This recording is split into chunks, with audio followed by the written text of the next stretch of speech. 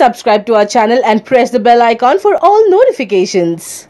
Natural Star Nani is currently wrapping up Devadas, a multi-star which also features Nagarjuna. Next, he will be team up with Malli Raava director Gowtam Tinnanuri for a sports drama titled Jersey. In Jersey, Nani will be seen as a cricketer. To make his character look natural, the Nani will be undergoing cricket training. Nani will commence training from the first week of October. After promoting Devadas for a few days, Jersey's regular shoot will begin from November. After Nani's trains for a few weeks, Narthanashala's girl Kashmira Pardeshi have been roped in for the leading ladies role and Anirudh Ravichander will compose music. Sithara Entertainment's banner will be produced the movie. Hi everyone! Did you download YoYo TV app? No? Then go and download from your Play Store where you will get news and entertainment masala. So go, hurry up and download it YoYo TV app.